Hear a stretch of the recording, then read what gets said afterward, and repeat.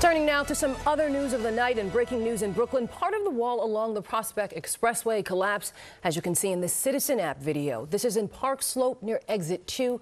The westbound lanes of the expressway are closed in that area. The bricks fell around 8.30 this evening. Fortunately, no one was injured. At this point, we do not know if weather played a role in this collapse, but it did rain most of today. Yes, it did rain most of the day. It was not as severe as we thought it was. That's the good news, but it appears to have been gone.